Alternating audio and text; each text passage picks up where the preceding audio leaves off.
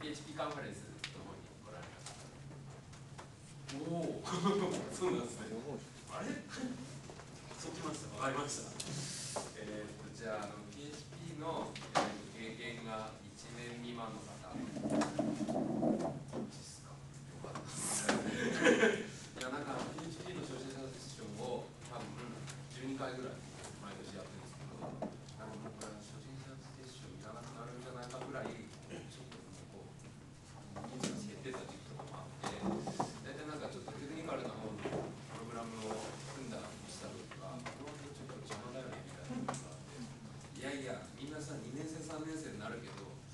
business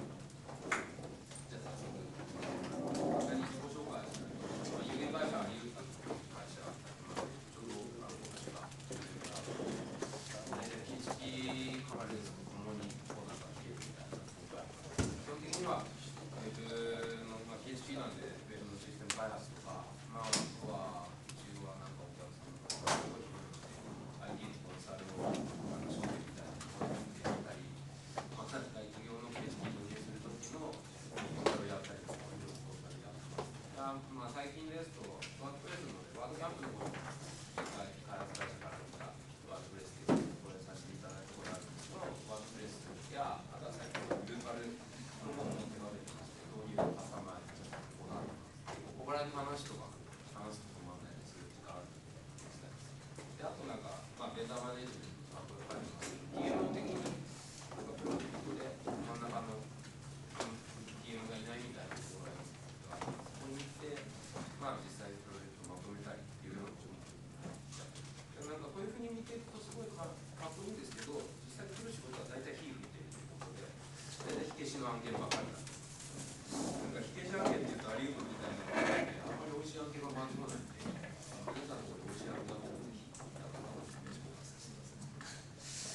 PHP の基本ということで、なんか、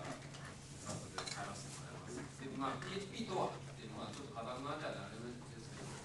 まあ、HTML 埋め込み型スクリプトゲームを、まあ、一般的にマニュアルとかに構えてます。で、まあ、サーバーサイドスクリプト。うん、で、まあ、この右ダイナリクエスト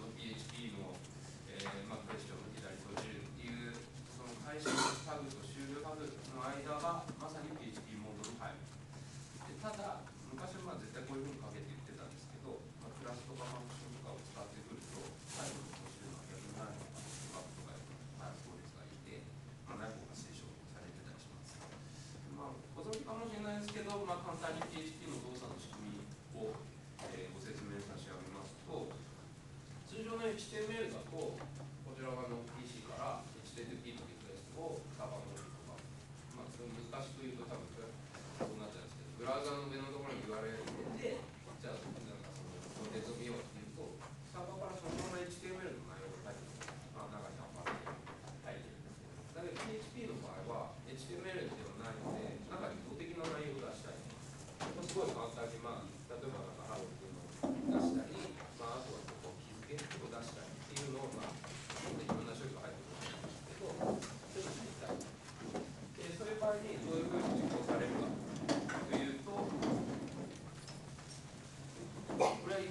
sau bao nhiêu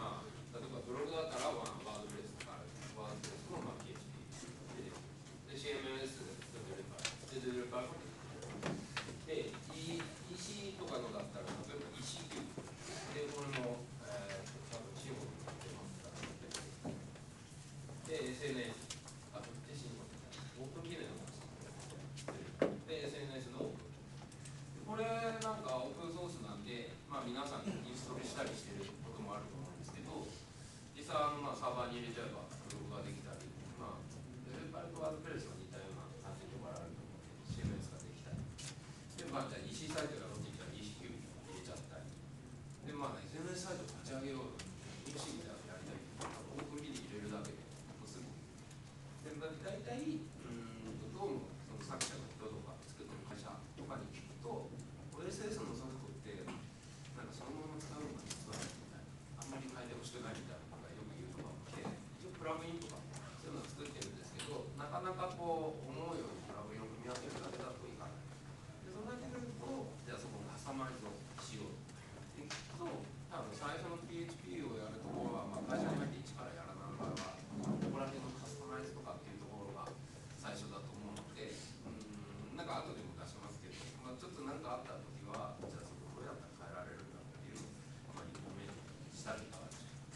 ここら辺に宣伝ぶっ込んでくるんですけどあんまり売れてないんで、えー、これも、えー、と2年前ぐらい3年前ぐらいなんで、まあ、ギリギリ使えるかなぐらいなんですけど、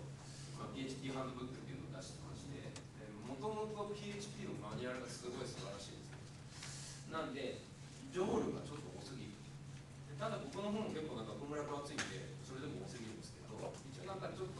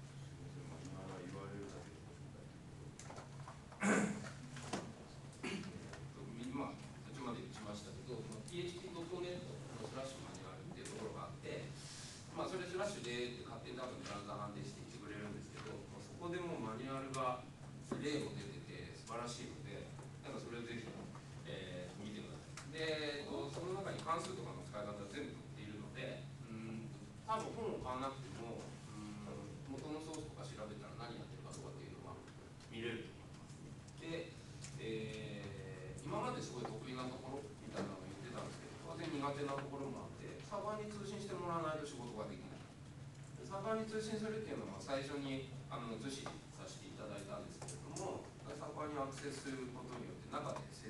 HTML を生成しているような処理をするので例えばブラウザの中だけで、えーと、と通信をしないと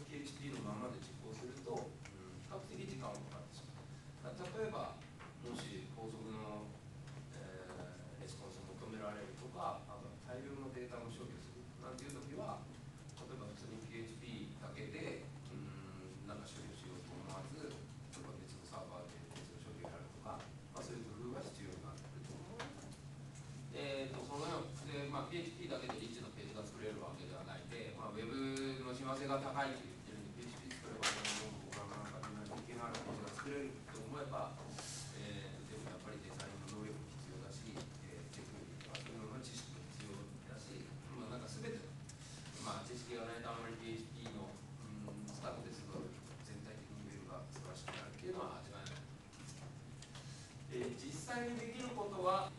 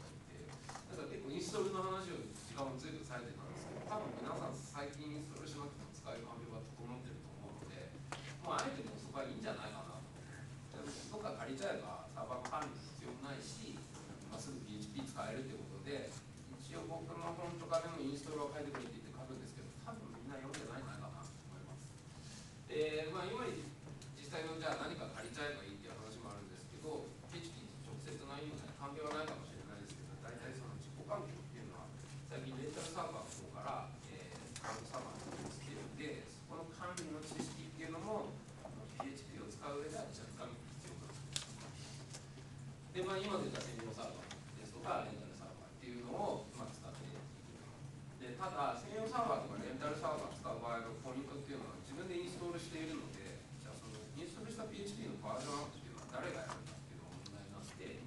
結構あの、あまり気にしない人がインストールした PHP のサーバーっていうのは、PHP のバージョンがアップされずに、まあ、多分下手したら今でも PHP4 とか動いちゃってる場合もあると思います。でまあ、PHP5.1 ナーバージョンもあるんですけどそれも多分なかなか上げられない。で上げられない理由の一つは面倒くさいっていうのも当然あると思うんですけど上げるとなんか他のライブラリーの関係で動かなくなっちゃうっていうのがあるんでここら辺多分実際に使う時に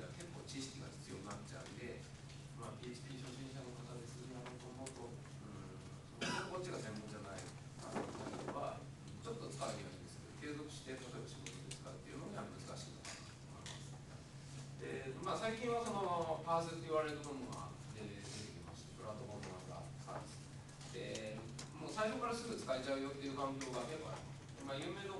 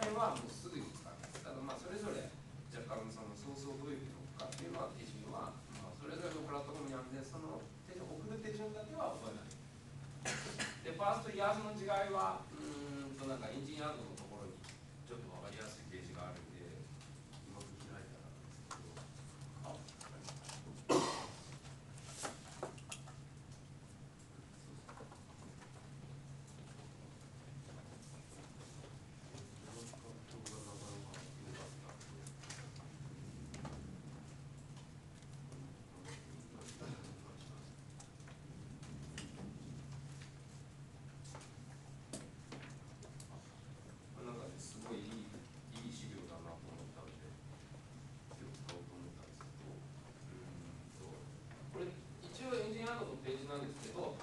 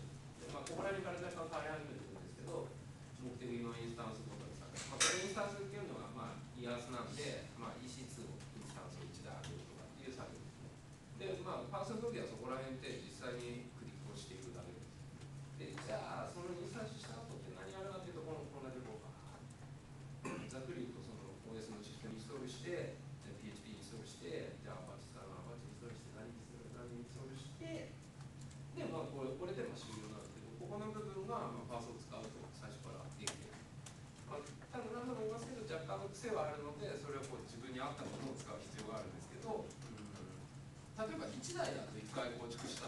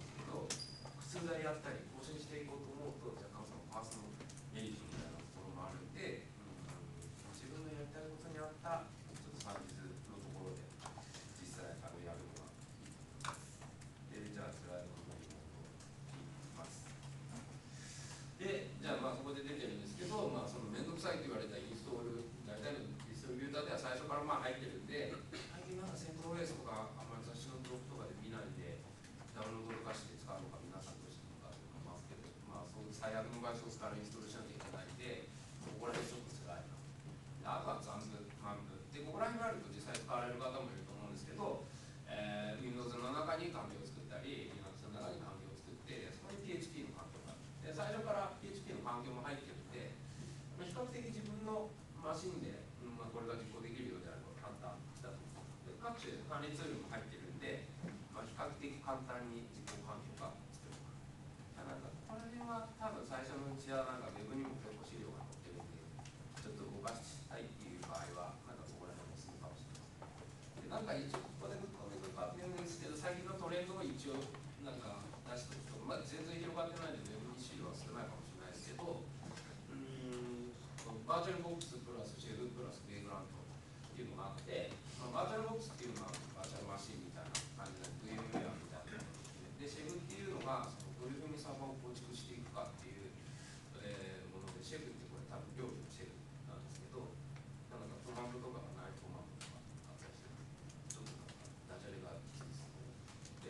Obrigado.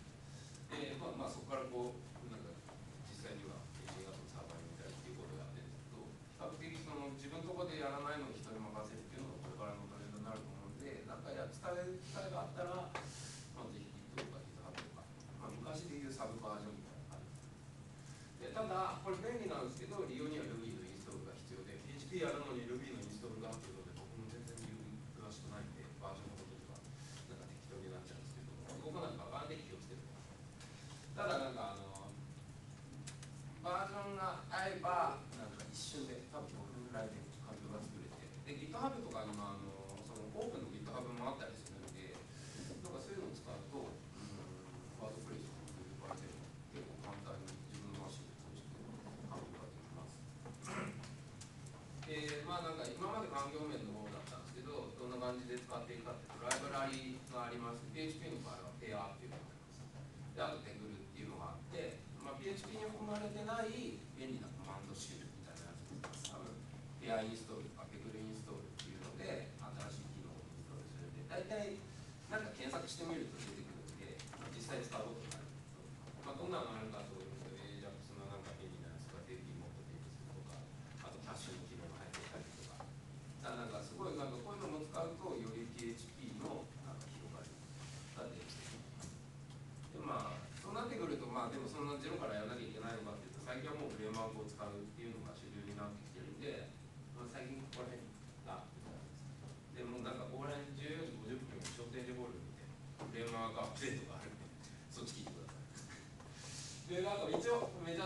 感じだと思います。でなんか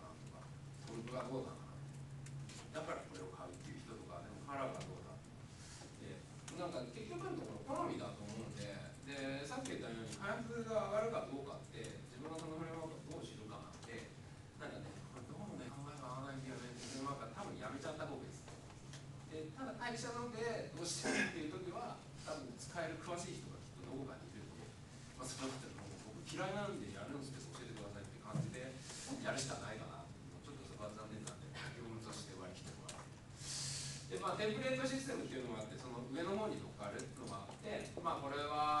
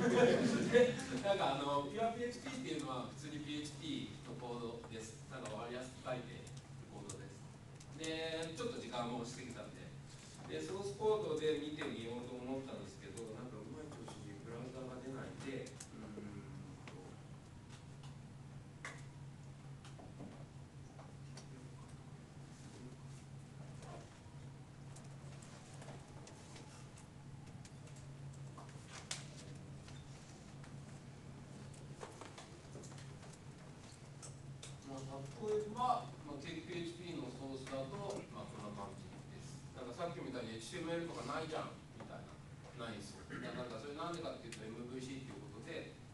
ビューがバラで、それぞれの処理のところが、うんと違うところに書いてあるんで、えー、と例えばじゃあさっき言ってたビューっていうのはどうなっているかというと、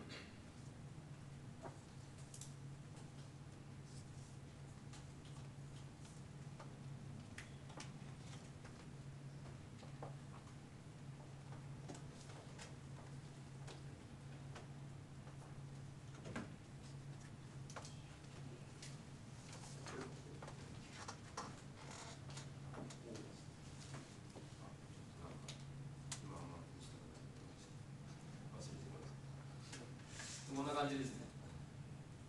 なんかさっきちょっとサンプルで出したんですけど、こう HTML があって、で PHP があって、で PHP が終わって、まあここが HTML なんですけど、こういうふうに HTML、PHP、HTML、PHP みたくなんか書いてあるのが、うんまあ、ここれは、えっと PHP なんで、まあ、ピュア PHP っていう名前があるとは限らないですけど、まあ、普通に PHP のコードを書いてます。でこんな感じで、うん、比較的なんか便利に HTML と親和性があります。で、よいしょで戻りまして、これ一発いけるかな大丈夫です。いきます。えーとこれだけ覚えておけば大丈夫。小さくクエスチョンやってるんで責任持ちますので。えーとまあ、このこの5つだけ覚えてください。で、まあ、アレイっていうのは配列で、うんこんなふうに配列持ってます。なんかリスト化されたもの、リストボックスに出したり、何に出したり。で、エコ、これ表示でプリントも一緒です。だからまあテキスト出したり、これダラっていうのは変数なんですけど、変数を出したり。で、if、if 条件分岐、条件分岐です。で、これなんか普通の書き方こっちなんですけど、右側のこうここの else のところ PHP でまたこれやり方があって、で、end if でやると、これやると、HTML の構造がそのまま使えるんで、先ほど言った PHP の中から出さなくて済みます。で、for each、これルーツ。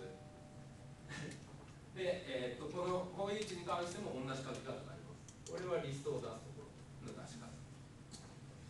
で、PHP の勉強法は、うんまあ、マニュアルを多分読むのがいいです。時間あったら、あと、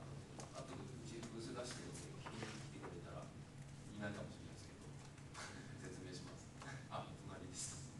で、あと勉強会、すごいなんか無料でいっぱい勉強会やってるんで、ぜひ勉強会に顔出してください。あんまりなんか宗教的なこととか言われない。で、まあ、必要なスキル、どんなのがあるかって言ったら、まあ、ここら辺の知識必要です。全部必要です。あのサーバーとかデータベースとかウェブサーバー、プレマーク、フロントエンド。で、何から始めるかだったら、まあ、レベル1、ワードプレスのテーマもカスタマイズあたりからやったらどうかな。レベル2、問い合わせフォーム自分でちょっと作ってみようかな。レベル3、プレマークのチュートリアル、さっき言った途中でやめちゃおう。で、プレミアム、アマゾンとか API の、まあ、Twitter の API のプログラム。で、レベル5、相談のアプリということで、こんな感じでやってもらったらいいんじゃないかなと思います。本当になんか PHP カンファレンスのこの後どこ回ったらいいよとか言おうと思ったんですけど、時間ちょっとなりましたので、えーこれまでにさせていただきます。ありがとうございました。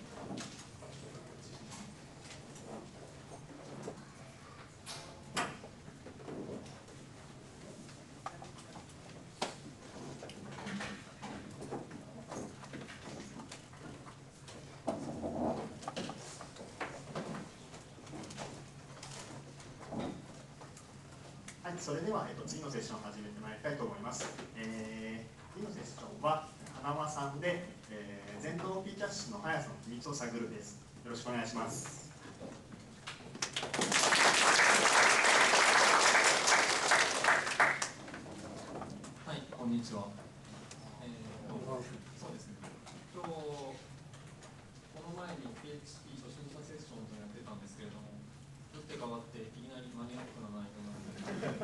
しくお願いします。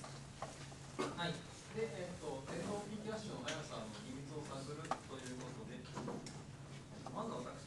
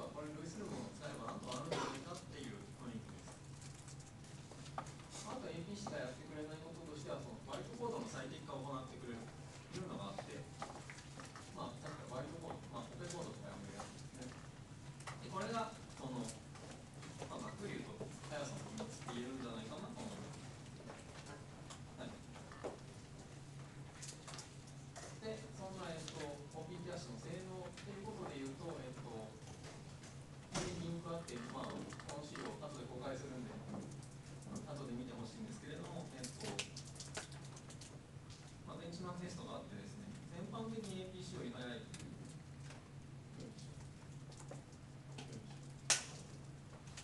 んな感じの資料が公開されてまして、まあ、このベンチマーク自体を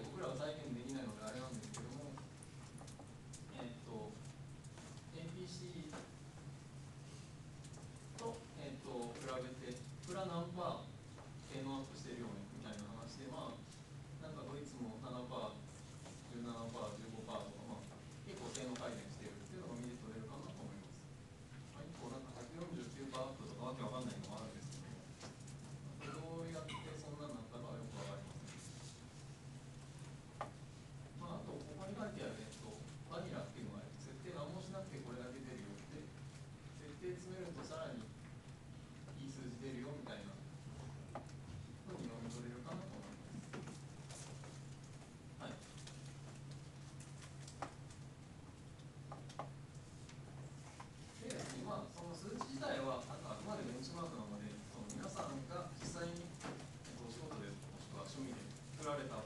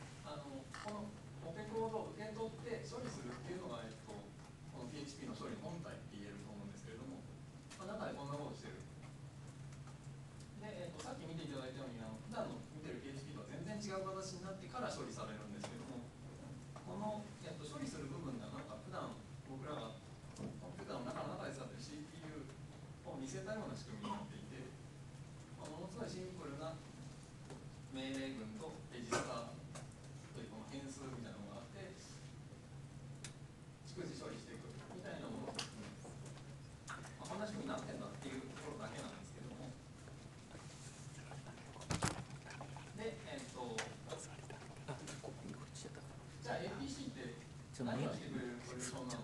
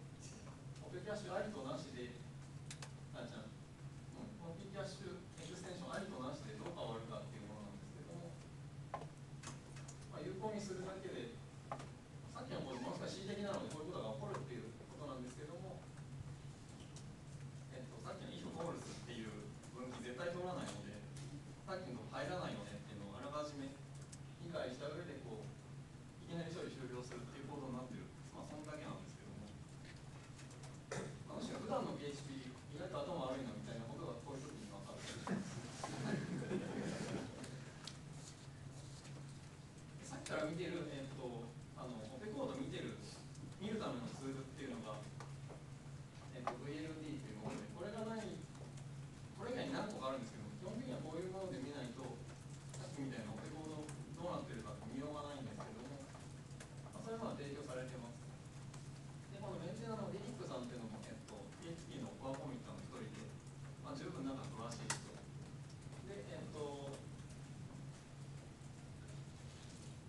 新版、リリースされてる最新版は5.4までしか対応してな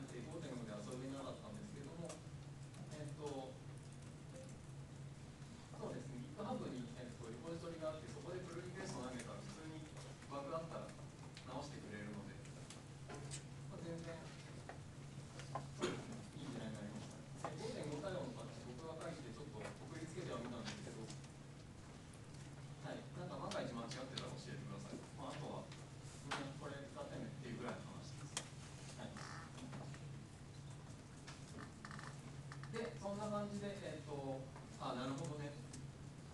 えと、最適化っていうのがあるんだってことなんですけどお腹いっぱい感もあるかもしれないですけどさらにこの最適化もう少し詳しく見ていく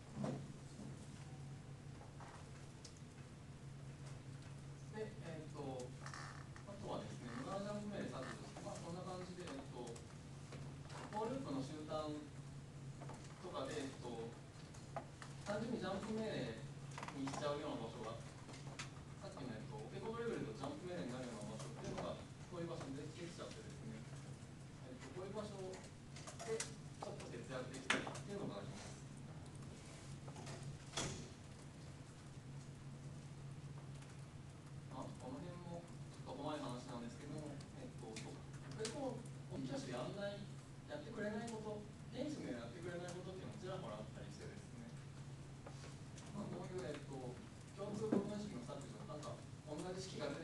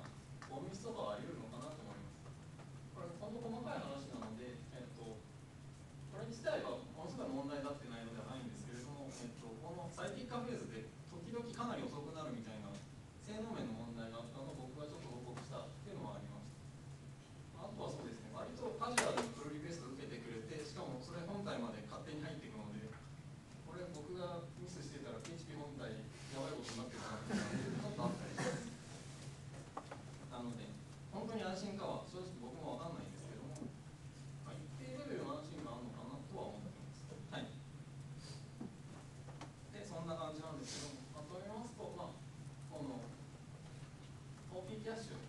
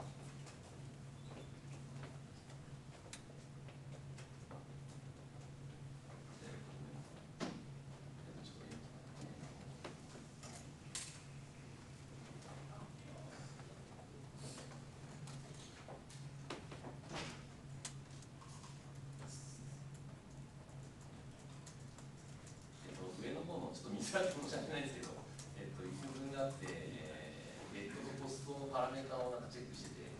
えー、スキュールコネクトとか、マイネスキュールクエリとかを上で投げて、ね、一生懸命あの DB 接続をして、で下の方に HTML が入ってます。で、あのここにあのスクリプトっていうタグがあって、ここにあのアップルがして、キンストを探してくだい。でまあ、最悪なパターン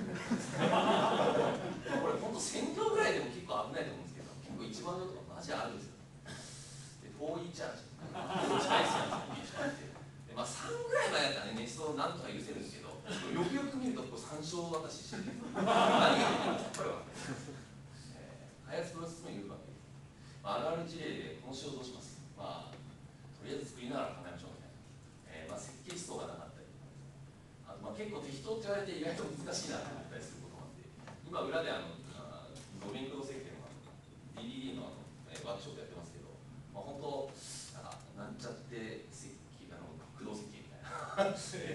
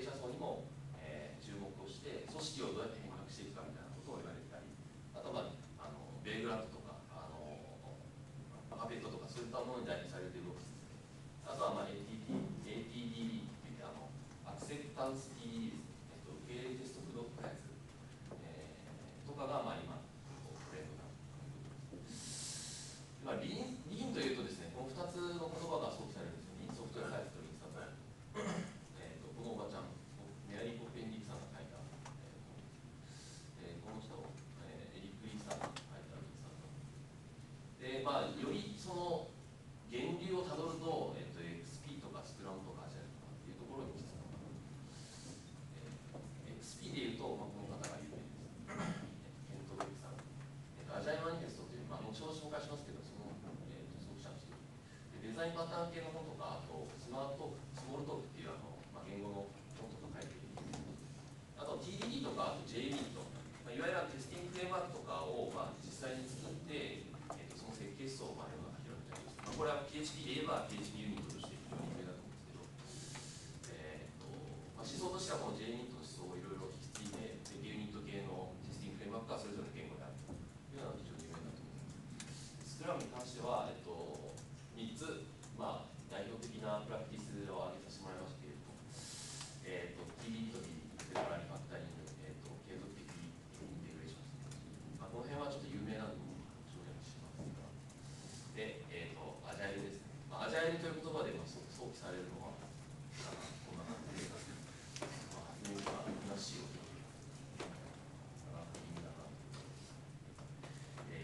アジャイルというとあの英単語で言うと機敏なって形容詞なんですけどアジャイルで言うともう本当にあのこのアジャイルソフトウェア開発宣言、まあ、アジャイルマニュースと言われているやつがすごく優秀だなと思って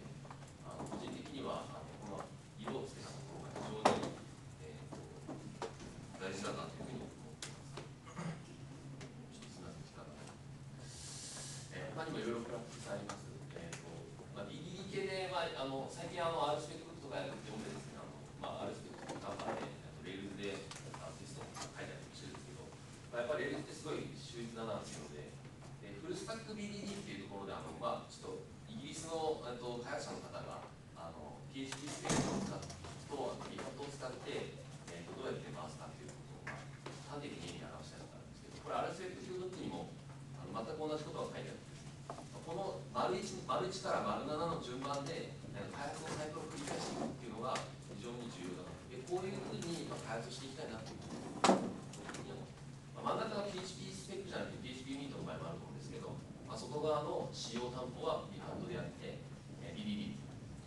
coming in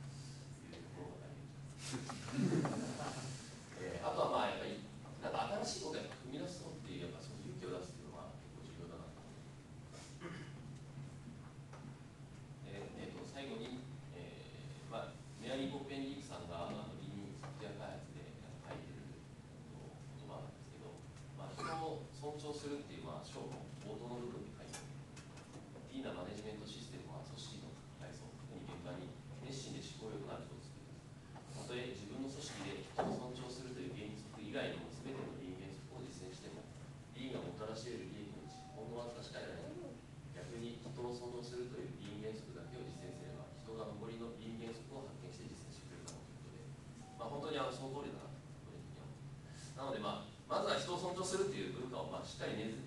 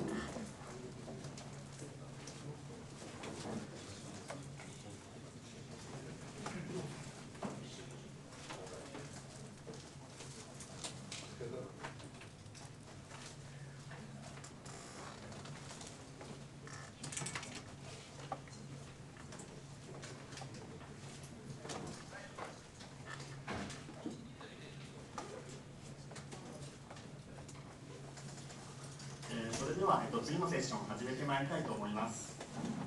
次のセッションは、アナトーさんで、さあ、PHP という言語処理系のソースコードを読んでみようです。よろしくお願いします。えー皆さんこんにちは。さあ PHP という言語処理系の、えー、とソースコードを読んでみようという発表をさせていただきます。アナトと言います。えー、とまず自己紹介からなんですけど、まあ、アナトっていう名前なんですけど、まあ、本名久保田光則で足ある株式会社で、まあえー、ニア兼、まあ、いわゆる UX デザイナーとして働いてます。でまあ、お仕事的には、まあ、なんかいろいろ UI 的なことをやったりしつつも、まあ、プログラミングも普通にやってるっていうことをやってます。まあ、なんか、えー、とこのこのなんか青空の画像画像をよく使ってネットで活動してるんですけど、まあえー、とあのとっていう ID で、まあ、ブログ書いたり、えー、とツイッターやったりしてますで定期的にヤン PHP 勉強会っていうものをっておりまして、えーとまあ、PHP 拡張とか、まあ、あと全土エンジンに関する勉強会っていうのを、えー、とアシャルの、えー、とセミナールームで、まあ、定期的にっていうか4ヶ月に1回ぐらいやってます。でえっ、とまあえーまあ、PHP で書いてあって、まあ C えー、と拡張とかに限らず、まあ、なんか PHP テックみたいな、えー、とライブラリとか、まあ、ハテナキオバーサとかを、えー、と公開しています。あとついでにこのスライドを生成したツールとかも自分で作っております、えー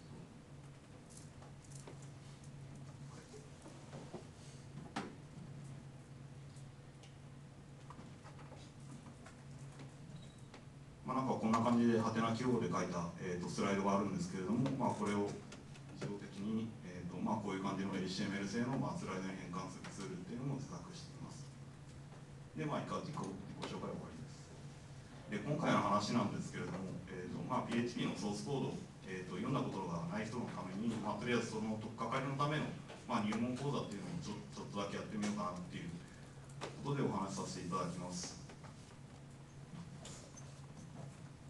で、えー、とちょっと,、えー、とここのあの席にいる人を見ますと,、えー、とどどう見てもあの電動セッションを聞く必要がないだろうっていう人が何人か紛れ込んでおりますけれども、えー、と今回はもうあくまでまあ初心者向けっていう感じで、まあ、お話しさせていただきます。でまあ、環境としては、まあえーとまあ、MacOS 10か、まあ、Linux 環境とかで、えーとまあ、試していただければと思います。まあ、ソースコードリーディングって言っても、まあ、実際に PHP, PHP を微動したりだとか、まあ、あとまあデバッカーを動かしたりとか、まあ、そういうことやるんで、えーとまあ、なんかデバッカとか、まあ、コードリーディングのためのツールとかを実装します。Windows はちょっと,、えー、と僕がマシン持ってないんで、どんな感じでビデオすればいいのかとかはよくわかりません。でえーとまあ、今回の話のアジェンダなんですけれども、まあ、最初に、えー、と PHP をまあ実際にビデオしたりだとか、実行したりだとか、テストしたりっていうのをまあ一通りやって。で、まあ、その次に、まあ、PHP のソースコードをほんの少しだけ、ちょっとだけいじってみて、えーとまあ、その挙動を変えてみて、えーとあ PHP って要するに C 言語なんだっていう、まあ、僕当たり前のことを、まあ、なんか、まあ、実感するということをややります。でその次に、まあ、デバッカで、まあ、GDB デバッカで実際に動かしてみて、えーとまあ、ソースコードリーディングを助けにするための、えーとまあ、ツールの使い方みたいなのを、まあ、少しだけ紹介して、えー、と最後にあ最後にじゃない、えーとまあ、その後グニグニューグローバルっていう、まあ、ソースコードを読むためのツールがあるんですけれども、まあ、これの使い方を紹介した後に、まあ、最後に、まあ、言語処理系の、まあ、基本的な仕組みっていうのを、まあ、簡単に解説しようかなと思っています。では、まあ、最初は導入ということで、えーとまあ、実際に PHP をビルドして、まあ、動かしてみるということを実際にやってみたいと思います。でまあ、それの手順なんですけど、まあえー、と普通の OSS のあの、まあ、ソースコードと変わるとあんまり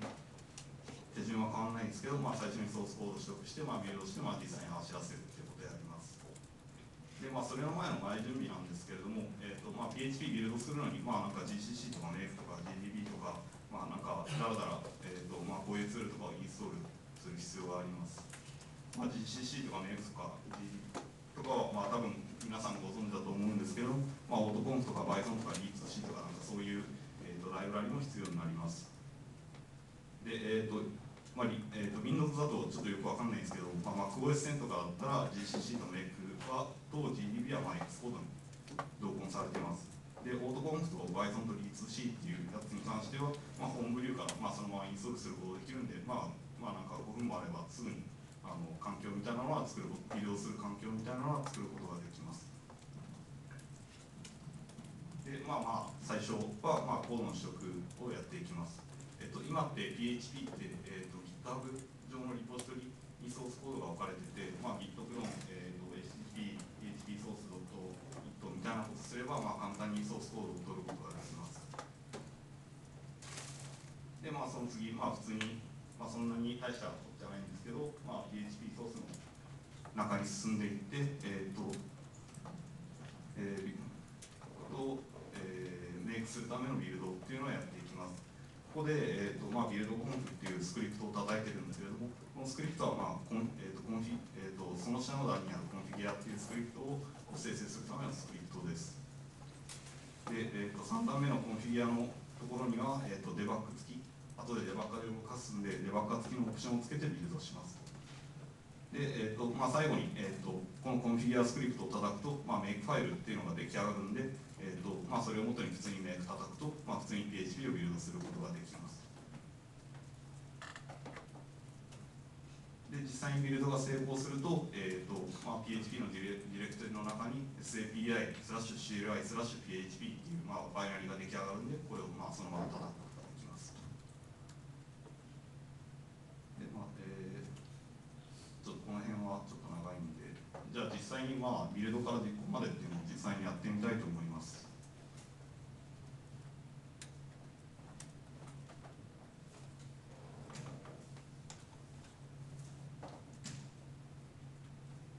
まあ、実際にビルドするとなんか10分ぐらいかかったりしちゃうんで、えー、と今回はまあ若干省略しつつやっていきたいと思います。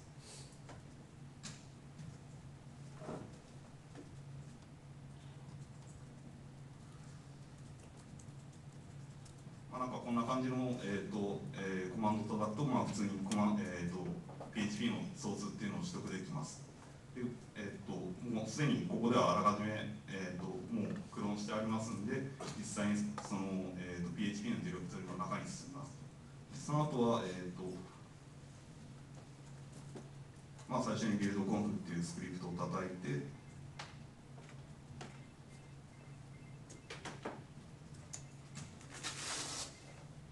まあ、こんな感じで configure スクリプトを叩くと、まあえーとまあ、このマシンの環境でビルドできるかっていうのをチェックが、まあ、バーッと走ります。でこの時に、えーとまあ、リー 2C とか Python とか、まあ、そういうツールがインストールされてなかったりとか、まあ、バージョンが違ったりしてるしてるとなんかエラーが出て途中で止まったりするんで、まあ、その時は、えーとえーとまあ、ツールのバージョン見直したりだとか入れ直したりとかをしてください。これも1分ぐらいかかるんです。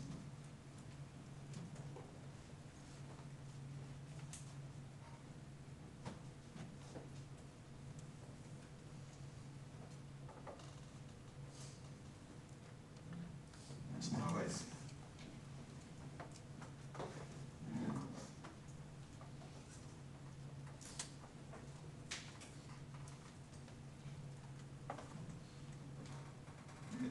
でえーで、 configure スクリプトを叩くと、まあ、 Makefile っていうのが出来上がるんで、そのまま、えーとまあ、 make ってやると、まあえー、とビルドされます。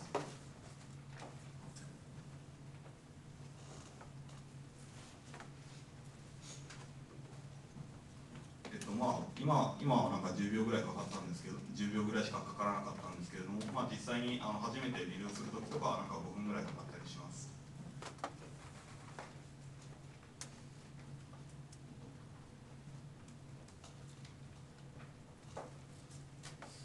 で、えーまあ、ビルドできたんで、まあ、実際に、えー、とできたバイナリーっていうのを叩いてみます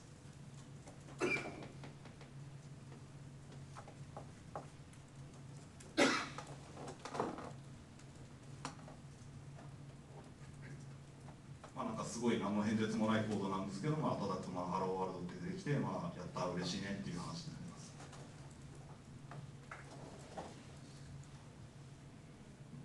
で、えー、と PHP のプロジェクトだと、まあ、あらかじめその PHP っていう言語自体をテストするための、えーとまあ、ユニットテストっていうのがユニットテストが置かれていて、まあ、それを実行するには、まあ、普通にメイクテストって叩くと、まあ、バーッと全部のテスト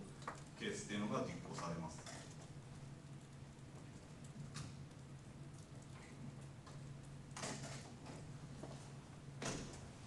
まあ、なんかこれも普通にやるとなんか10分 ,10 分とか15分とかかかったりするんで、まあ、ここでは省略します。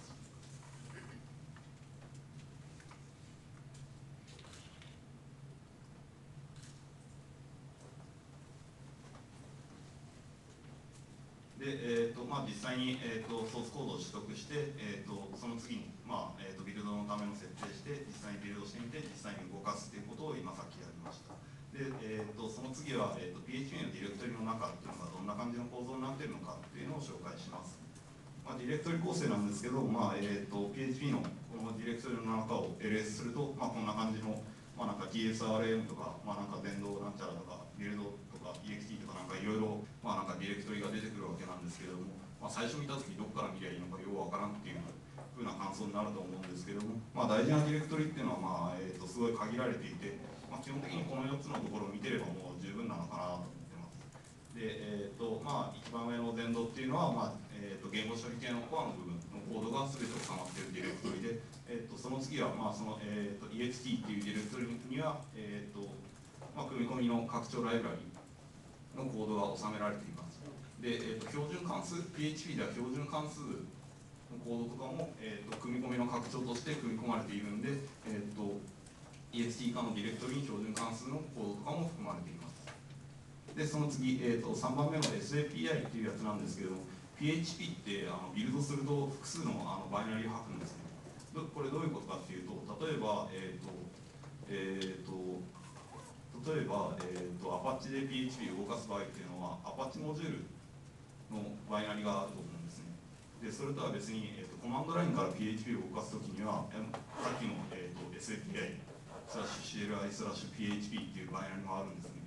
で、えー、とこれどうやってやってるのかっていうと PHP だと SAPI っていう、えー、とバイナリを、えーとまあ、実行環境とかサーバーに合わせてバイナリ複数生成するような機能が、まあ、ビルドシステムの中にあって、えー、とその専用のコードが、えー、と SAPI ディレクトリの以下には置かれています最後に、まあ、テストテストディレクトリには、まあ、その名の通り、まあ、PHP 形式の、まあ、テストが置かれています。であと,、えー、ともう一つ見逃していけないのが、まあ、ディレクトリ構造のところじゃないんですけど、まあ、リードミードと,、えー、となんちゃらっていうファイルがあるんですね。これ何なのかっていうと,、えー、と PHP マニュアルとかを見ると PHP のあの実装の中身のこととか全然書いてないんですけども実はソースコードの中に、えーとまあ、そういう実装の中のドキュメントとかが実は一部書いてあったりするんですね。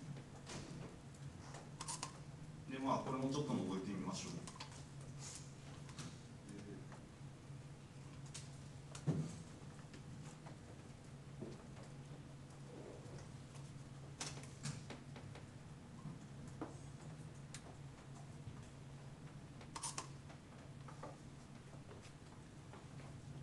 あここところですね、えーと、リードミードットなんちゃらっていうファイルがすごいいっぱい並んでるんですけど、これはもうあの PHP の、えーと、言語処理系の開発者のためのドキュメントがここの中にもうそのままテキストとして置かれています。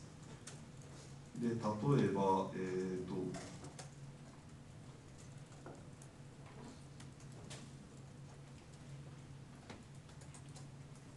まあ何でもいいんですけど、まあ、リードミードットパラメータ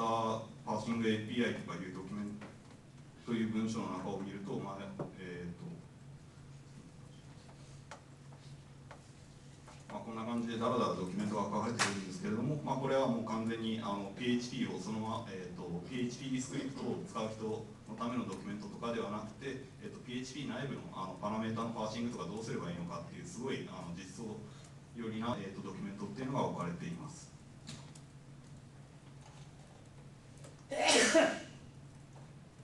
であと先ほどまあ紹介したまあ重要なディレクトリなんですけども、まあ、この全土っていう中には、えーとまあ、言語処理系としての、まあ、すごいあのコアのコードのみが置かれています。でこの中には例えば、えーと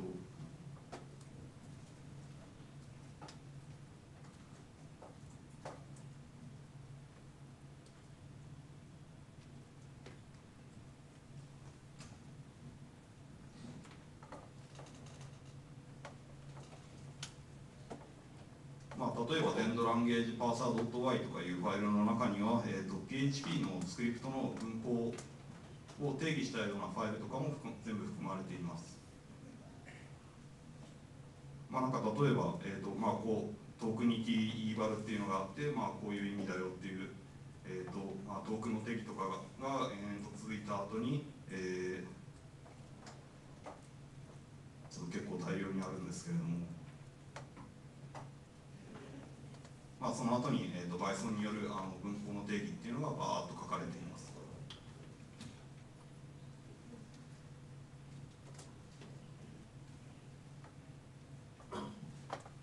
で実際に、まあえーとまあえーと、PHP を利用して実行してみてかつあのディレクトリのコードとかを、まあ一つえーとまあ、簡単に解説したので次は実際に PHP の挙動っていうのを少しだけ変えてみて、えーとまあ、感覚をつかんでみたいと思います。まあ、なんかこれをなんでやるのかなんでやるといいのかっていうと、まあ、PHP っていう言語処理系っていうなんかわけのわからんあのすごい巨大であのジャックっぽいソースコードがいっぱいあるあのプログラムなんですけれども、まあ、少しだけ挙動を変えてみることで、まあ、ちょっとした自信につながるというか、まあ、自分でもハックできるみたいな感じを、えーとまあ、錯覚なんですけれども出すことができます。でまあ、手順で手順としては、まあえーとまあ、普通の CM のプログラムと変わらず、まあ、コード編集してビルドして試すっていうのが普通のあのやり方になります。で、えー、とここでは、まあえー、と strlen っていう関数があるんですけれども、えー、とこの関数の中に、まあ、なんかほえっていう出力するコードを追加して、えー、とそれを実際に試してみたいと思います。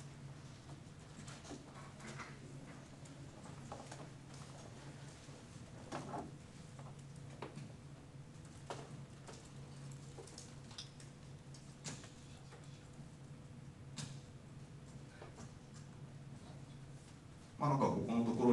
SDRLN っていう、まあえー、と組み込み関数の、まあ、宣言が C 言語で書いてあるんですけど、まあ、この中に、まあえーとまあ、ほげほげとかやって、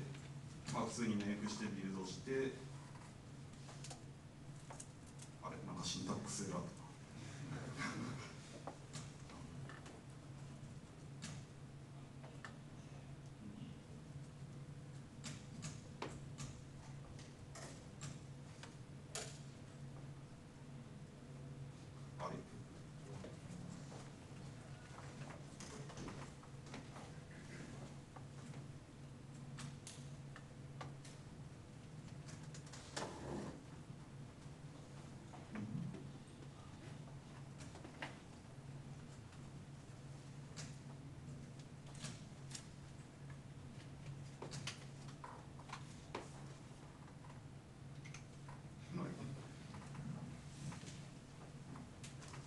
あれ今プロトタイプ宣言の中に書いてある今回あそう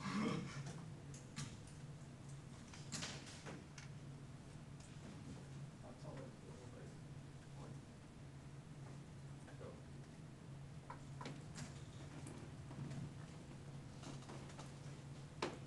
ちょっと待ってくださいね。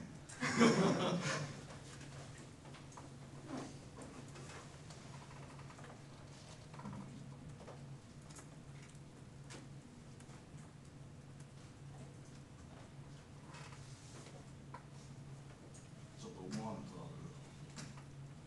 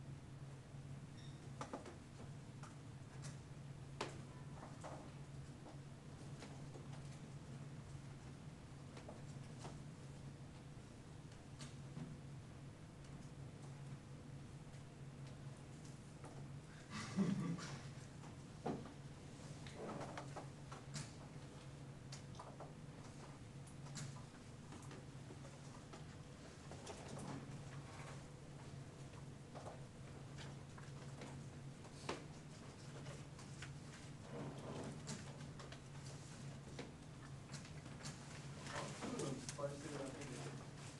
実はもっと割合が出来上がってたりしますあ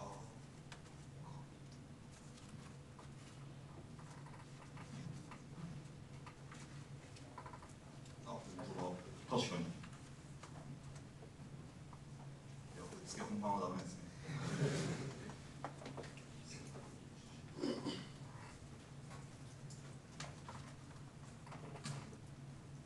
あ、普通に今日座ってますね。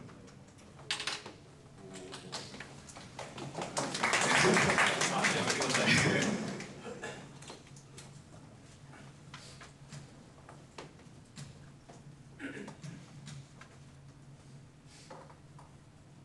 まあ、さっきのよくわからないエラーをまあとりあえず置いておいて、まあ、こんなふうに、まあ、挙動をちょっとだけ変えることができます。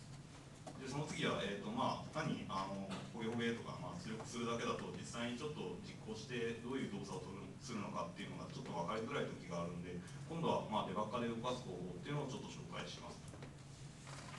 でデバッカ利用すると、まあ、プログラムの動きを確認できるできてすごい便利なんですけどもなん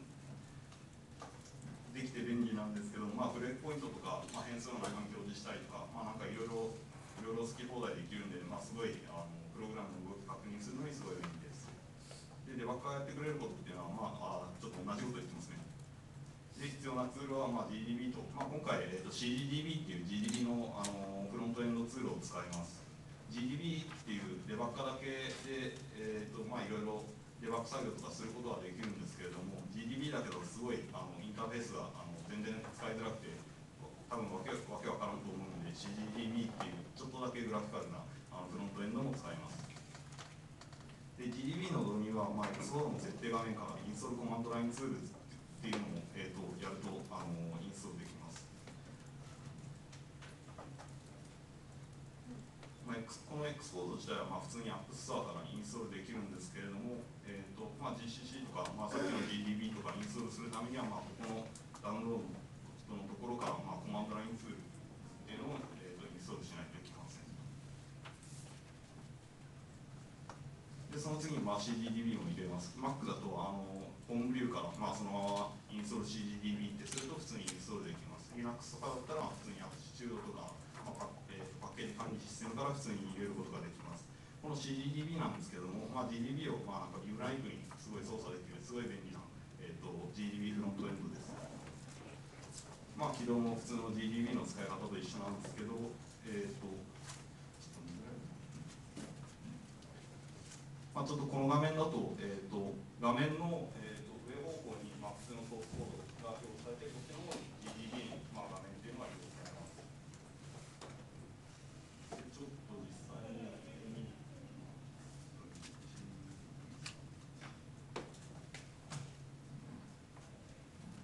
まあ、こんな感じで、まあえーと、2画面で上の方にソースコード表示されて、下の方に普通の GDB の画面っていうのが出てきます。でここでは、まあ、実際にさっき、えーと、さっきほげほげとか表示してた strlen 関数にブレイクポイントを貼ってみたいと思います。えーと、PHP だと、まあ、strlen っていう関数なんですけれども、まあ、C 言語レベルだと,、えーと、あたあの関数の頭の方に、えー、と ZIF アンダーバーっていうプレフィックスがつきます。まあ、これ多分電動インターナルファンクションとか、それのそういう感じの名前の略だと思います。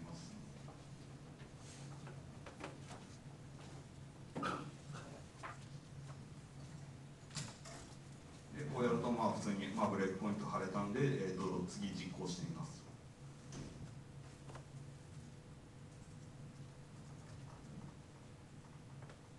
でこんな感じで、えー、と実行すると、ちょっと文字がでかすぎますね。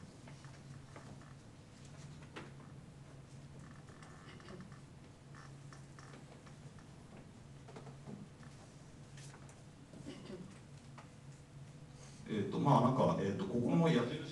矢印のところが、えー、とブレイクポイントとして実際に止まっているところです。でこれを、えーとまあ、M とかやると、まあ、ステップ、えー、と次の処理まで実行することができたりします。まあ、あと,、えーとまあ、ここに S1 アンダーバーレーンっていう関数があるんで、それ表示したかったら、まあ、こんな感じで、まあ、バーッと、あこの中1ですねとか、なんかそういうのが出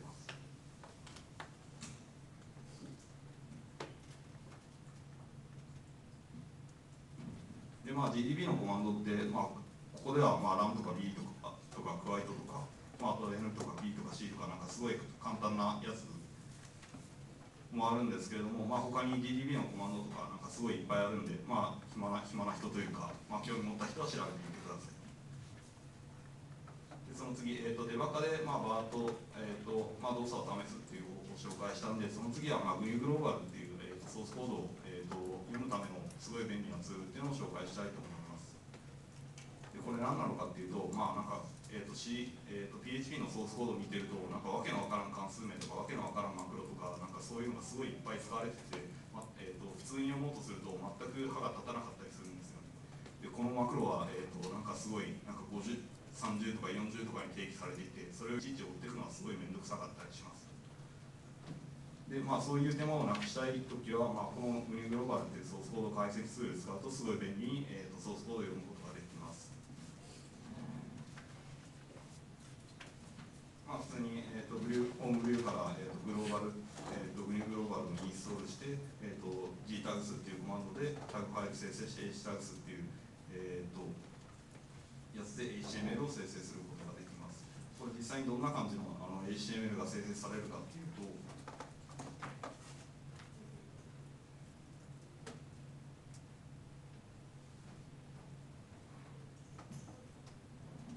最初見た時僕はすごい感動してしまったんですけれども、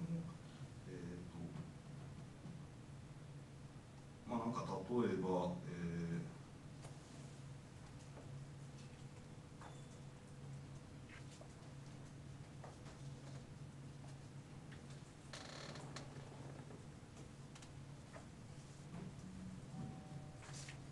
まあなんか例えば普通にソースコードが表示されるんですけれどもそこに、えー、と記述されている関数のすべてにのリンクが貼られていて。でまあ例えば STR フリーってどこにあるんだみたいなのを普通にクリックするだけであこれはマクロだったんだとか一瞬で分かってしまってすごい便利なツールです。なんか PHP って PHP のソースコードってこれは多分かんあの小文字だから関数だろうとか思ったりしてるとなぜかマクロだったりしてあれこれどこにあるんだと思って全然分からなくなったりすることがよくあるんでえーとまあ、これ使うとすごいあのなんというかすごい一瞬でマクロとかの定義を覚えてめちゃめちゃ便利です。てかこれなしだと多分あの僕はすごいくじけてたでしょ。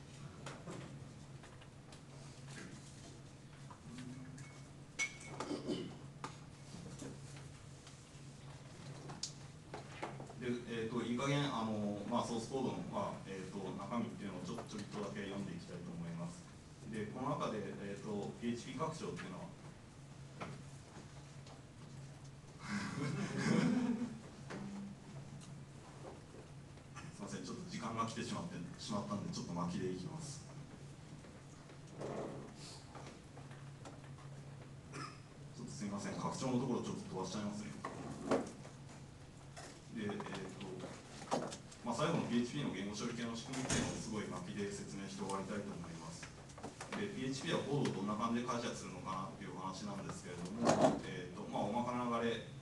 まあ、こういうこうハローワールドっていうコードなんですけどこのコードはまあ実解析と構文解析されたとコンパイルされて実行されるっていうようなフェーズを取ります。で実解析って何よっていうのは、えーとまあ、こんな感じでコードトークンの列に変換してする、えー、とフレーズです。でその次は構文解析解析コンパイルっていうのは、まあ、トークンの列を構構文として解釈した後に解析した結果をコンパイルするっていう処理です。でこれコンパイルって何のことと PHP 内部の,、えーあのスクリプトエンジンの全土エンジン用のコードがコンパイルされます。でその後、まあコンパイルされたコードが全土エンジンによって実行されるという感じになります。でまあ Lead2C とか、まあ、Bison とかのあれはちょっと省略して、えっと、コンパイルって具体的にはどういうことかっていうとコードを全ドープアレコード体に変換することです。PHP のファイルや関数っていうのは全ドープアレイコード体に、まあ、変換されます。でこれって何何なのかっていうと全ドープコード体っていうあのコード体の配列が格納されています。で全ドープコード体っていうのは、まあ、その全ドエンジンへの命令を表すコード体です。電動エンジンっていうのは、まあ、この電動プアレ構造体っていうのを解釈していってその中に入っている電動構造体っていうのを一個一個解釈して実行していくというような仕組みになっています。すみませんちょっと終わります。まあちょっとここで一番言いたかったのは、まあ、PHP は化け物ではないということで、えー、とすみません、えー、とご清聴ありがとうございました。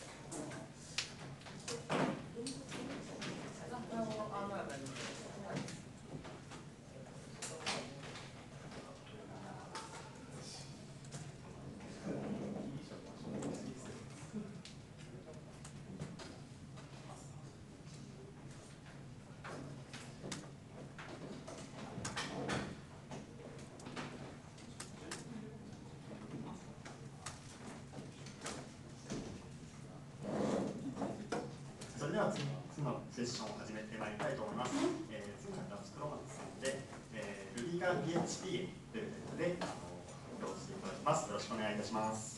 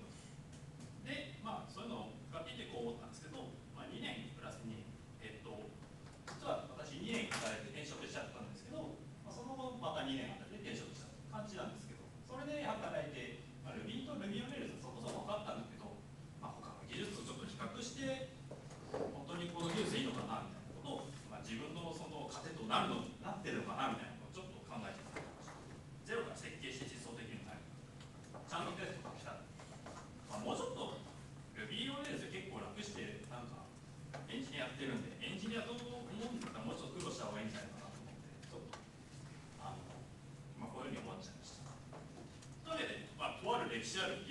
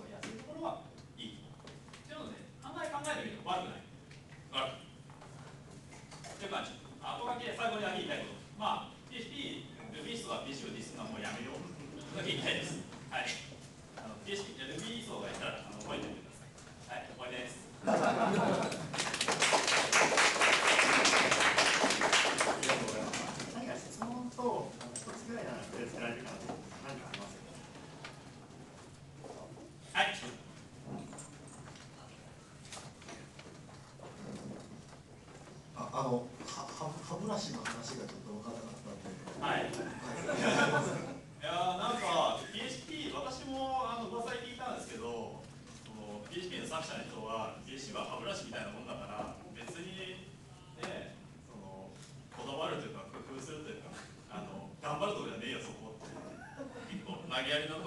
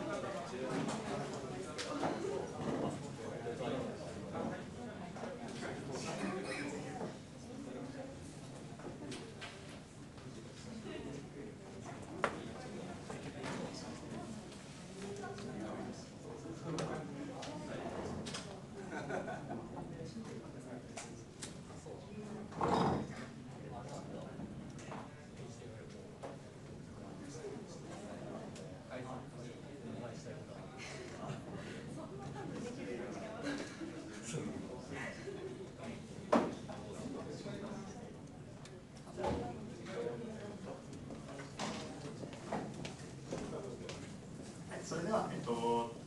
続いてのセッションを始めたいと思います。えー、次のセッションは株式会社グリスの、えー、ソメノさんで、 Elastic Beanstalk で作る PHP 動作環境です。よろしくお願いします。皆さん、こんにちは。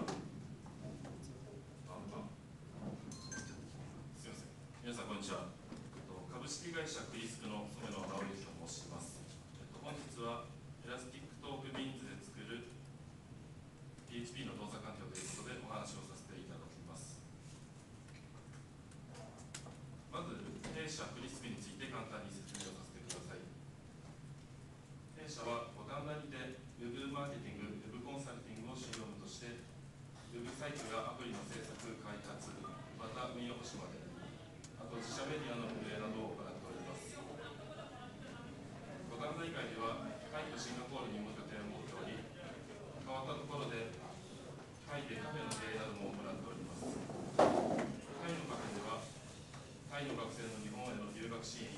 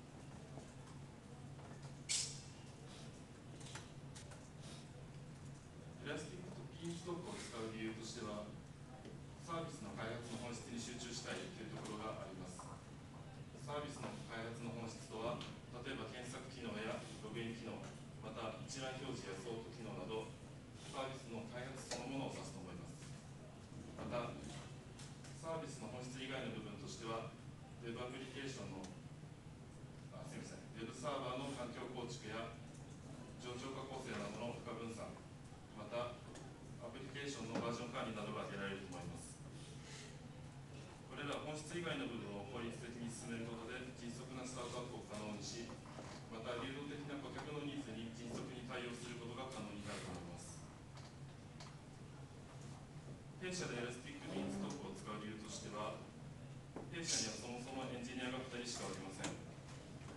そういった環境の中で少しでも開発にリソースを回していきたい。また、環境構築、運用保守の難航数はなるべく減らしたい。多数のプロジェクトの管理を簡単にしていきたいというところがあります。基本的には本質以外の部分の工数をなるべく減らして本質の部分の工数を増やし少しでも多くの案件を回したいという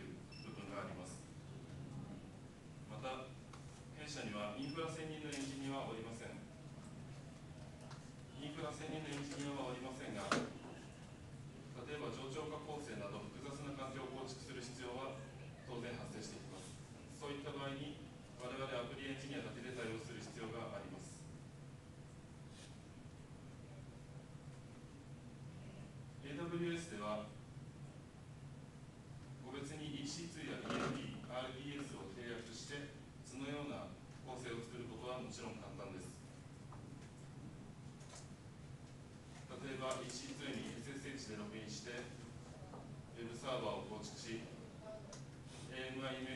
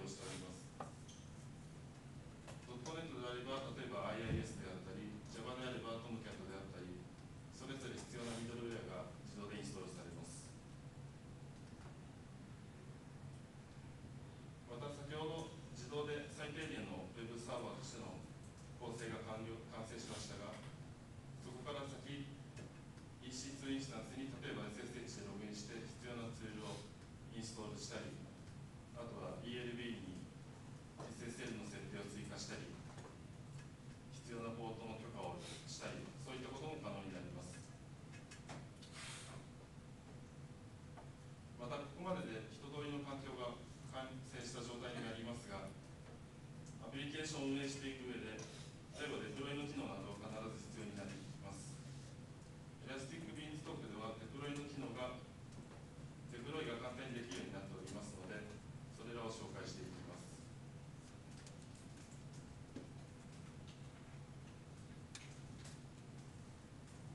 実際の業務では、例えばサーバーが複数である場合に、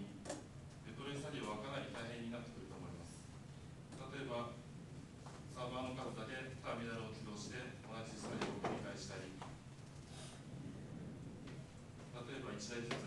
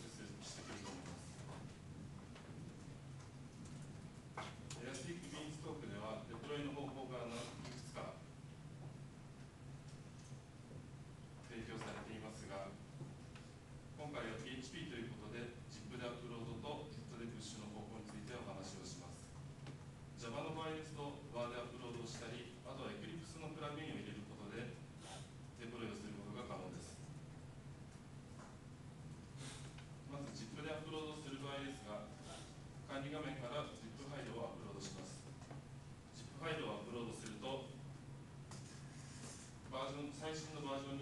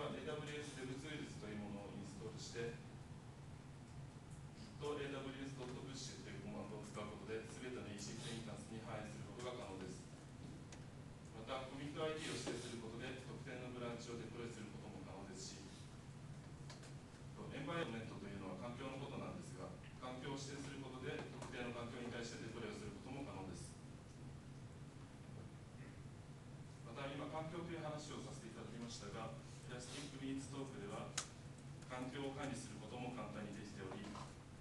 えばウェブサービスを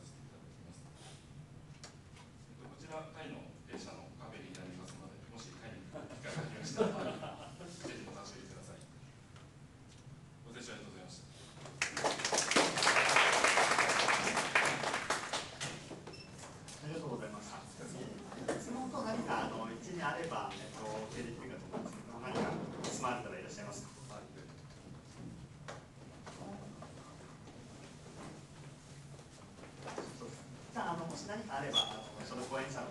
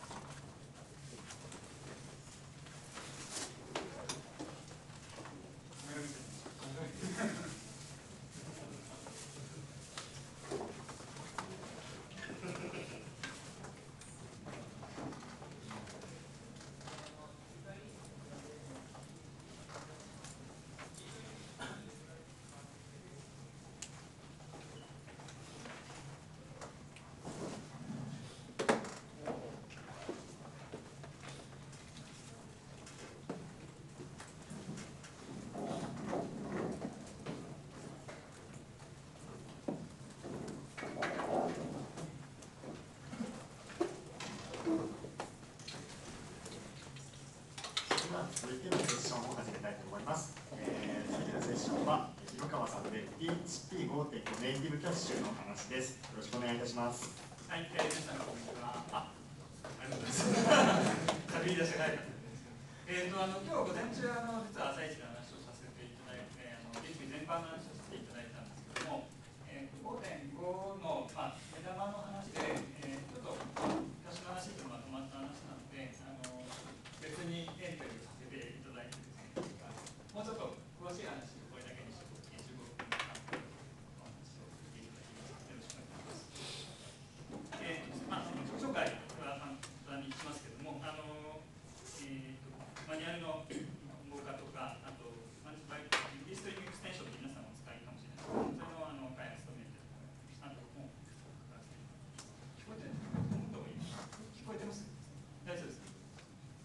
えっ、ー、と、キャッシュの話ですけども、あのキャッシュってものは皆さんご存知だと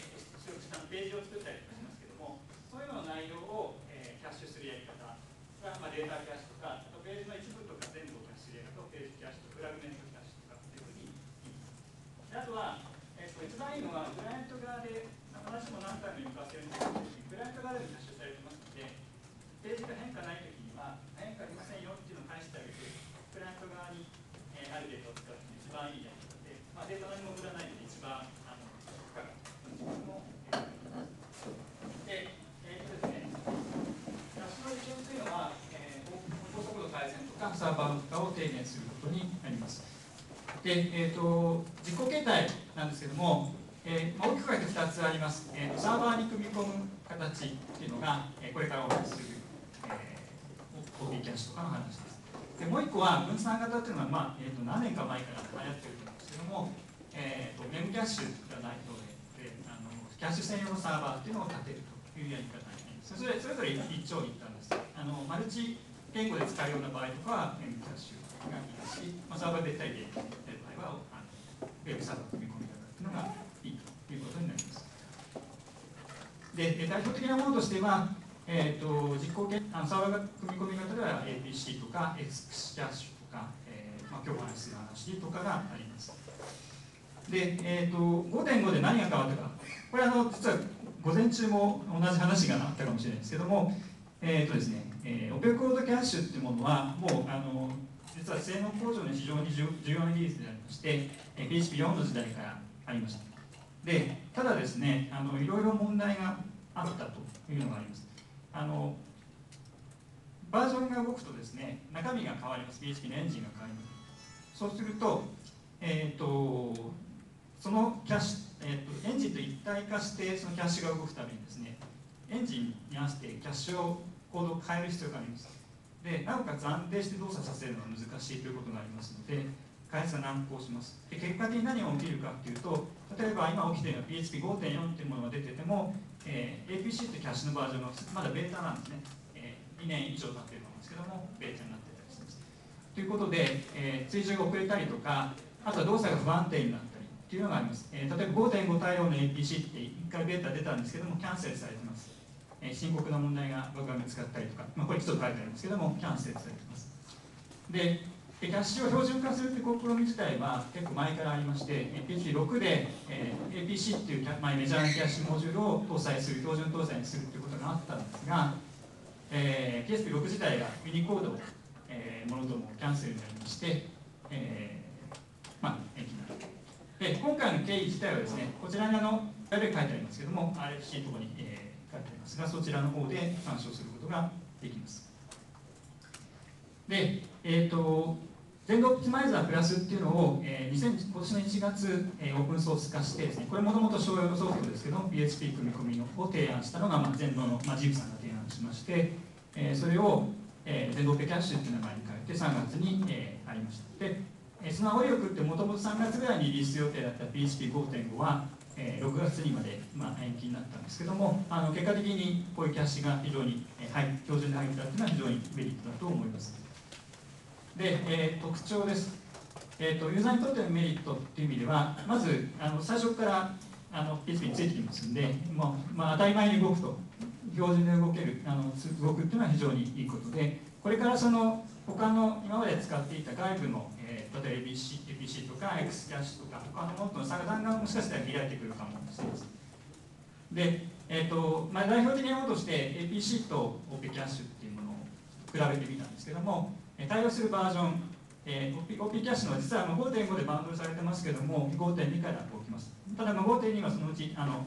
廃止サポート廃止予定です。で APC もまだ5.4もベータ5.5はまあアルファ版のような感じです。で一番違うのが、えー、のうちの一つがこれです、えー、使用後のメモリー管理です。えー、例えばちょっと出てきますけども、えー、メモリーがあのキャッシュの場合メモリーキャッシュしますんでそれがだんだん使っているとそのうち、まあ、あの足りなくなります。でどっかでリセットをかけに行ったりとかしますしあと使わなくなったメモリーを、まあ、破棄したり再利用するんですが、えー、APC の場合はいらなくなったところにマーキングをしておいて、まあ、再利用しようとします、まあ、ですから効率的なんです OP キャッシュの方はもう破棄っていうマークをつけて基本的には使わないということである程度たま破棄のすべきメモリーがたまったら、えー、キャッシュ自体を、えー、リセットします。再,、えー、再起動します。であと実行速度がですね、えーまあ若干速い。OP キャッシュの速い。というのはベンチマーク上で出てます。あともう一つ、えー機能的にはですね OP キャッシュの場合は、えーもうキャッシュ OP コードキャッシュに、まあ、特化しています。で APC の場合は、えーデータキャッシュと後で出てきますけども、えー、とさっきの、えーユーザーの出力側をキャッシュする機能とかですねあと preloading 機能とか、まあ、いろんなものがついています。であとは最適化っていうことについてはスクリプトコードをバイトコードに変換した後には最適化するというのは両方ともサポートしています。でえっ、とですねインストール簡単に説明しますと、えーまあ、ソースコードが組み込みなのであの非常に単純なんですけども、えーもしあの自分でコンパイルされる場合は、えー、と Enable OP キャッシュっていうのをつけてコンフィギュアにつけてあげて、えーメイクをしてあげれば、えー入ります。でこれはあのえー5.5の場合ですけども5.2から5.5の場合は、えーとまあ、GitHub からあの自分でダウンロードして同じステージを取るか、えー、ピクルの方からダウンロードしてくるという手順があります。でこれはあの、まあ、インストール自体なんですけども、まあ、実際起動するためには PSP.in の方に設定をしてあげます。えー、とこのモジュール自体はあの extension といっても Zend extension というエンジン自体が拡張するモジュールですので、えー、と Zend extension イコールという形で、えーパスを指定します。で、えーあと,、えー、と extension の場合はフルパスじゃなくてもいいんですけども Zend extension はフルパスで指定します。でモジュール自体を有効にするのは、えー、OP キャッシュイネーブルというのを1にしてあげる。まあオンでもいいんですけどもしてあげるということ。ですで、えー、とあと基本的な、まあ、オプション結構いろいろあるんで後紹介しますけども代表的なものを紹介しますと,、えー、と OP キャッシュの、えー、とメモリーですね、えーというもの。それから、えー最大メモリーとかあとはそのこれこちらが、まあ、あの基本的にはメモリーをいっぱい使えば性能どんどん上がってきますけどもサーバーの負荷自体も上がってきますので、まあ、一番サーバーのメモリーに応じたいい値っていうのがありますのでチューニングをしてあげるという値です。であとは、えっ、とこちらですね。あのセーブコメントとかっていうのがあるんですけども、えーこちらはですね例えばあの、えー、とフレームワークとかであの PHP ドッグコメントっていうのはアノテーションっていうのはコメント欄に入ってたりするときはアットマークなんとかっていうのがあると思うんですけどあの部分をキャッシュ対象にするかということです。でああいうの使ってない場合は外した方が性能がいいんですけどもフレームワークとかで使ってる場合はキャッシュしないと動かない時がありますので、えー使うものに応じて、まあ、あのチューニングをするということになります。であと、えーオプションいろいろあります。えーとまあ、マニュアルとかを見ていただくことになるんですけども、えーとまあ、よく使うかなと思うのはオプティマイゼーションレベルというところはあんまり使わないかな。あのこれが実は各いろんなオプティマイザーを、えーオンオフするフラグです、まあ、ベンチマークの時しか使わないと思いますけど基本的にはいつもオフあオンですね、えー F を全部立てるというのが基本です。なんか不具合とかあったらこれをオフにしてみるといいかもしれない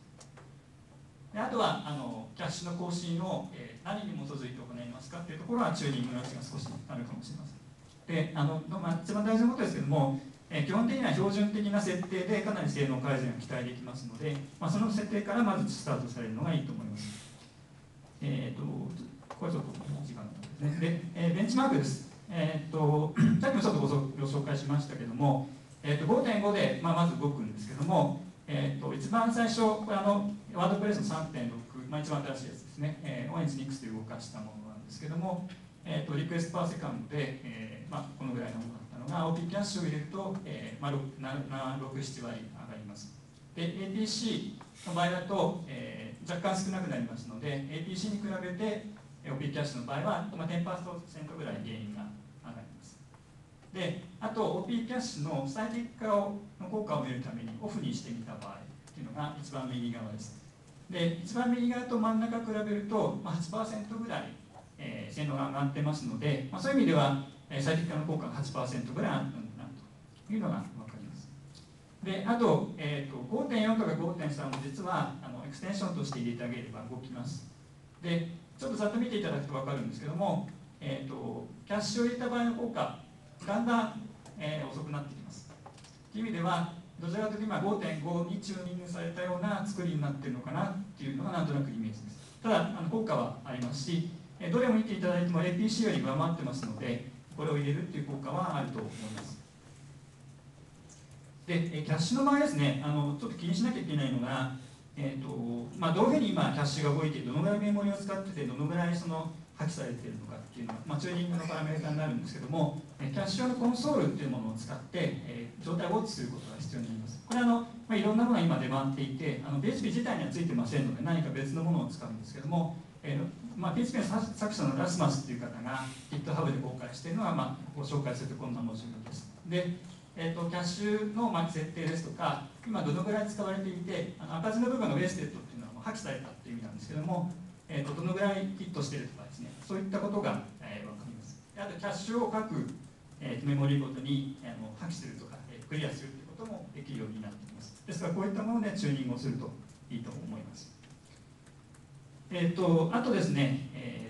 ポイントとしてもう一個今までの話は、まあ、オペキャッシュだけの話をしてたんですけども、えー実際にはキャッシュを有効に使うためにはさっきのオペコードキャッシュだけじゃなくてですね、えーさっきのユーザーデータキャッシュの方を併用して使っていくことになります。で、えー、と OP キャッシュ自体はそれをサポートしていませんので、えー、とそれをですね、えーまあ、他の文字を入れることになります。で、まあ、候補としてですねいくつかあります、えー例えばメモキャッシュメモキャッシュを併用するというのが、まあ、非常に有効だと思います。あとえー、と今回のモジュール用にですね OP キャッシュと組み合わせるように APC のユーザー部分ですねあの OP コードキャッシュ以外の部分を取り出した APCU っていうのが新しく作られています。で、えー、とおすすめとしては今これが APCU っていうのがおすすめですのでちょっとこれをご紹介したいと思います。で APCU っていうのはですね、えー、と APC を今まで使ってた方は非常に良くてですねつまり API が互換です、まあ、使い方が同じだということです。で、えー、と例えばワードプレスとかの APC サポートしている既存のプラグインが、えーそのまま動きます。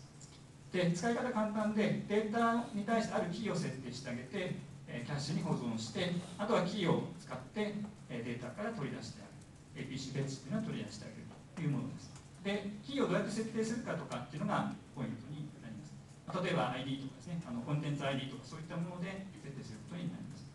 でこれ自体は、えー、と PECL とか GitHub で公開されています。で設定はですね普通のエクステンションと同じで、えーまあ、構築自体は enable APCU で、えーオプションしてコンパイルしてあげてあとは extension イコールでモジュールを指定します。あとは Enable と有効にましてあげてあとはメモリですね、共有メモリのサイズを、え指定してあげます。まあちょっと,、えー、といろいろオプションがあります。で、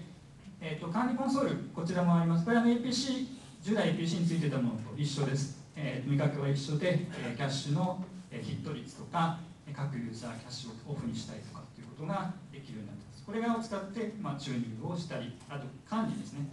をしていくことになります。で、えー、とこちらのベンチマークもちょっとご紹介します。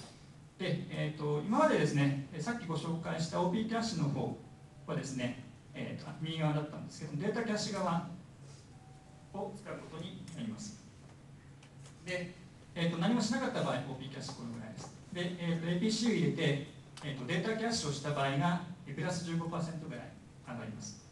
えー、とオブジェクトキャッシュですね。で何を使ったかっていうとワードプレスにプラグインを入れます APC 用のプラグインを入れました。で最後にページキャッシュという出力側をキャッシュするモジュールバッドキャッシュっていうのがあるんですけどもこれも APC で U で動きますのでこれを使った場合は、えー、となんとですね、えー、と3657%アップということで、えー、と要は出力をキャッシュしたので、えー右側何も動かないで返せるということで非常に効果が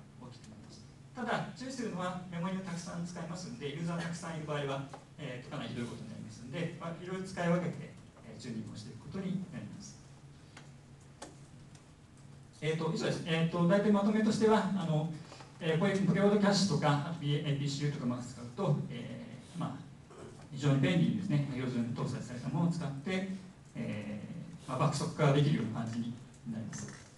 えーで、えーまあ、今後ですね、ろいろ進化していくはずだと思います。あの標準搭載されたということ、まあ、これを使って、えー、といろんなチューニングをしていただければと思います。はい。以上で、えー終わります。あ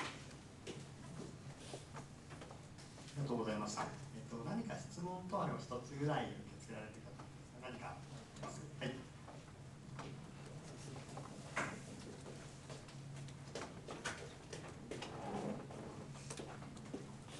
えーっと、えーっとですね、えーっとうち弊社もその全動ペキャッシュ、あ全動ペカプラスを実際に本番で、えーっと試してみたことがあるんですけど、その時にアパッチがすごい記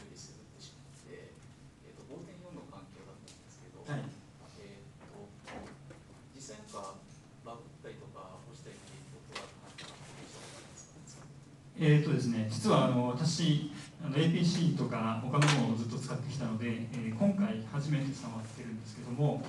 えー、と何か他のサーバーと比較されてますかね？あの実は APC の今新しいバージョンの方もですねそれなりに、まあ、新しい要は5.54とか5.5にした場合なんですけども APC 結構落ちるんですね。そこを比べてしまうと私の印象だけ言うとあの今 OP キャッシュの方がちゃんと動いてるような気がします。っていうのが一つとあとあのまあ、ちょっと参考までに GitHub とかのあのパッチのログとかを見ていただくと分かるんですけども OP キャッシュの方が、えー、と今みんなが叩いてバグを直してます。わかりますか？あのその意味っていうのはどんどん品質が上がってるっていうことです。ですので新しいバージョンを使われる場合にはあのどんどん差が開いていくであとは、えー、と今だとみんなこれ頑張って作ってますんでバグフィックスのあのなんかリクエストを上げると早く直してもらえ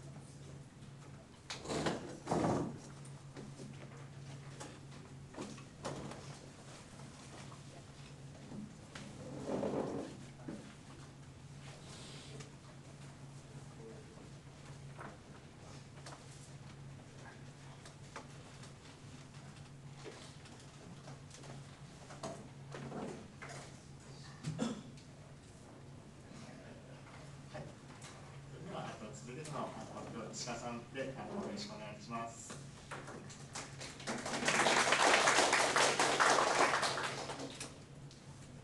えっと、よろしくお願いします。えっと、フロントエンド制作向けビルドツールグラント PHP バックエンド開発で利用するというタイトルで、私、石川正幸が発表させていただきます。えっと、まず本日の目標なんですが、えっと、グラントが何かを知るっていうのと、PHP 開発でグラントの使い道っていうのを、えっと、ちょっとご紹介すると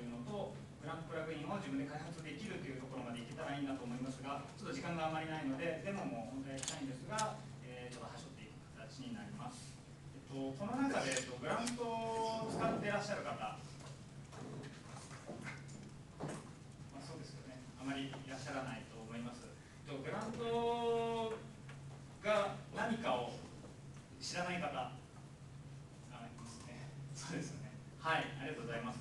えっと、まあ、今回、ペチコンということで PHP の話なんですが、えっと、グラントはそもそもノード制なので、全くお話が違うんですが、まあ、その中で PHP 開発でどうやったら、えっとまあ、PHP とのこう相性を上げていくかなみたいなところのお話ができたらと思います。はい。で、えっと、そう時間がないので、ちょっと走っていきます。まず自己紹介ですが、えっと、私はあのブラウザソーシャルゲームの開発のエンジニアをやっています。まあ、携帯であのポチポチ押して進むとかガチャがあるとかそういった類のゲームを作っています。で、えっと、まずグラントのお話をさせていただきます。グラントっていうのはこの、えっと、サイトなんですが、え JavaScript タスクランナーということで、えっと、一体何のことだということで、えーちょっとよくわからないという方もいらっしゃると思いますが、最近の HTML とかの、えーカンファレンスではよく使っているのを見かけます。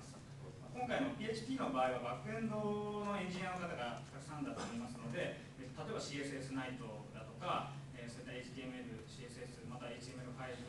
のカンファレンスとか、そういったところでは大体使っていらっしゃる方がたくさんいます。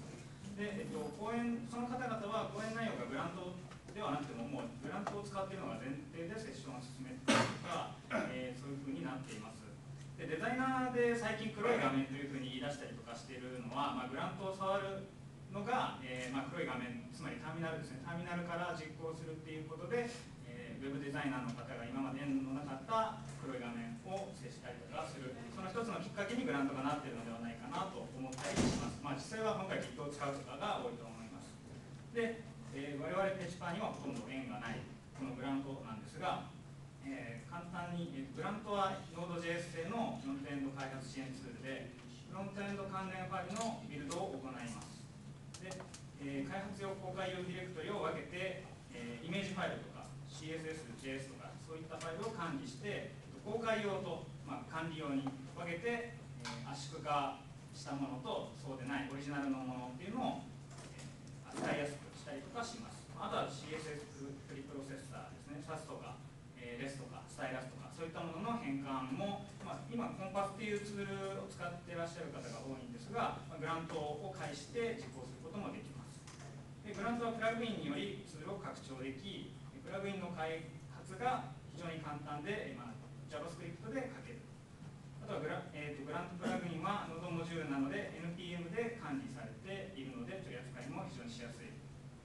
です。で、えー、とグラントプラグインなんですが、グラントは枠組みだけなんですね、実際は。例えば、えーとイメージすると、えーまあ、この後ちょっと話しますが、バンドラーとか、えーとまあ、コンポーザーで管理したりとか、まあ、そういったのに非常に近いイメージです。で、実態はプラグインで、これをどう使うかっていうのが、グラントの、まあ、使いどころになっていきます。で、えっと、ここに公式25、全体1390とありますが、サイトを開くと、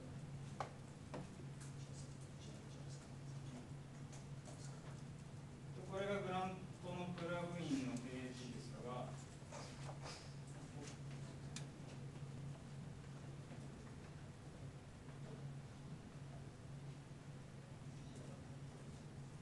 うん、多すぎて読み込めないんでしょうかね。